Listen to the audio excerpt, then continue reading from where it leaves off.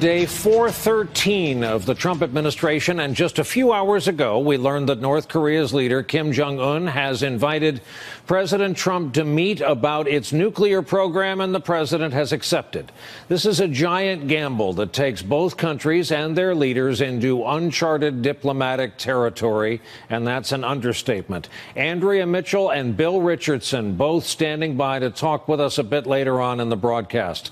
But we begin with new insights into President Trump's thinking about the Russia investigation and special counsel Robert Mueller. The two men have yet to come face to face, as you know, and while we have no idea of Mueller's views on the investigation, there's no mystery about Mr. Trump's opinion. Collusion now is dead because everyone found that after a year of study, there's been absolutely no collusion. I will say this uh, there is collusion, but it's really with the Democrats and the Russians far more than it is with the Republicans and the Russians. So the witch hunt continues. I had no phone calls, no meetings, no nothing. The Russians had no impact on our votes whatsoever, uh, but certainly there was meddling, and probably there was meddling from other countries and maybe other individuals. In just a moment, in this very studio, we'll be joined by Jeremy Peters of the New York Times, who has new reporting on the president's mindset these days about this investigation, which he luckily has promised to share with all of us.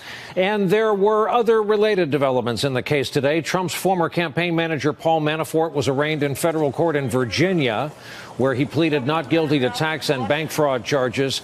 That's a separate case from the one in Washington, D.C., across the river, where he's already pleaded not guilty to conspiracy, money laundering, and other charges related to his work uh, for pro Russian politicians in Ukraine.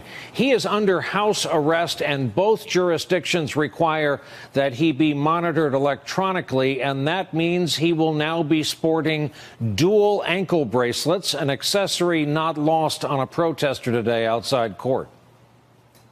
Show us your bracelet. Hey, traitor. Here's your flag. Russian flag. Traitor! traitor! You're selling out America to the Russians. Paul Manafort will now face two separate criminal trials later this year. Rick Gates, his former business partner and deputy on the Trump campaign, he has pleaded guilty. He's now cooperating with Team Mueller. Tomorrow, the special prosecutor is scheduled to hear from another witness, Sam Nunberg, the one time Trump campaign advisor who launched that notable one day media blitz this week to say he would defy his subpoena.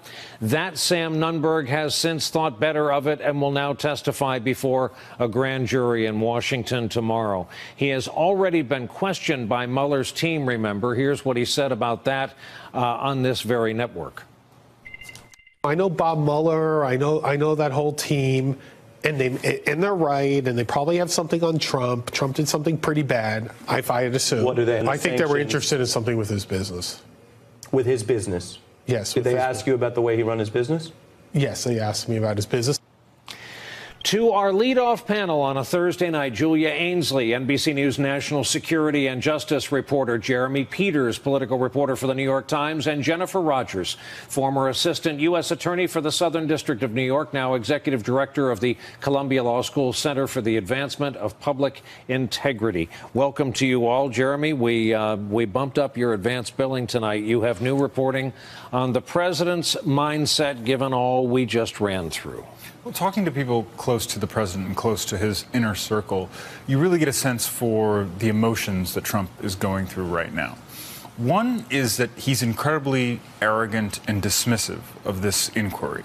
And that's because he has people like Sean Hannity whispering in his ear constantly saying, This is a hoax. This is a witch hunt.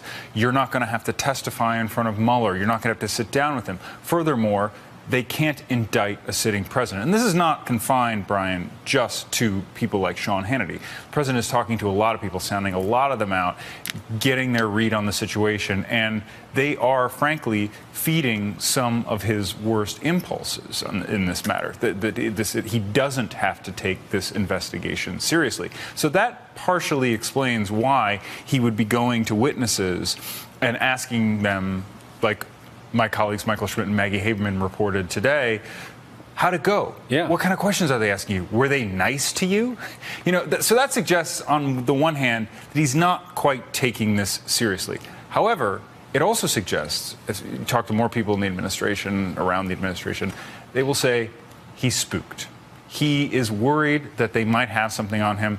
Sam Nunberg, for you know whatever his flaws, whatever you know, how, however unfortunate the, the, the, series of events yeah. over the last 48 hours were when he went on TV and, and did those interviews, he has echoed something I've heard from other people who have spoken to the Mueller team in recent weeks, which is they are zeroing in on something. I don't know what that something is. I don't think Sam Nunberg does. I don't think anybody but Bob Mueller and his team know what that is. But it's serious. Let's ask a former Fed counselor how legally dangerous is the president's mindset as you hear Jeremy explain it?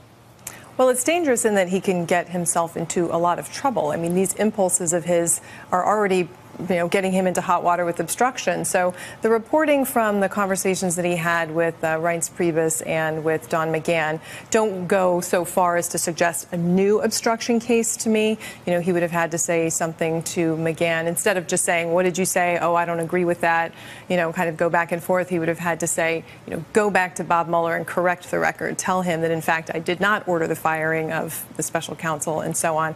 So I don't think it's kind of new hot water, but this whole idea of him interfering with this investigation, talking to people about it, continuing to delve into it, you know, again, it's evidence of the obstruction case that we already have that Mueller's looking into. It's another kind of piece of that puzzle. You know, here's someone who's so obsessed with this investigation, he just can't stay out of it. It makes it more likely that at the time he fired Jim Comey and tried to fire Mueller that he was thinking along those lines too. And secondly, again, it's just part of this attack on the independence of the Justice Department, the special counsel, the FBI. It's that same drumbeat that has been going on for a while, his, you know, continually trying to undermine those institutions. So, Julia, as a matter of fact and not opinion, given what you've learned about the lines of inquiry, and they are multiples, underway in the Mueller effort, uh, the president, it would seem, would have a lot to worry about.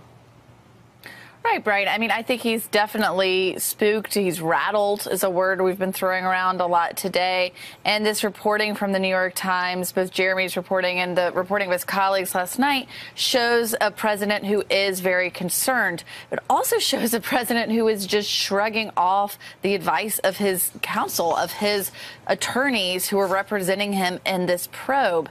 And if you think about the advice that they've given him, we know that they are trying to work out a way, a scenario in which he would would not have to go before the special counsel to speak. They are very much trying to insulate him, keep him calm, keep him from incriminating himself, and he just keeps shrugging that off at every turn. And so this could be a president that would also shrug off the advice that he shouldn't go speak to Robert Mueller. He may insist on doing it because he has this kind of he has his ego where he believes that he could just set the record straight and win on his own. And and a lot of these moves that he's making along the way could get him in that trouble uh, that Jennifer's talking about now. And Jennifer, back to you. How do you deal with a client like that who has uh, admitted impulse control issues and candidly needs to get good news kind of every day on multiple fronts? Well, it's very difficult, and this is one of the reasons he had such a hard time finding a criminal lawyer back when he was shopping around. You know, he was asking kind of all the big names in the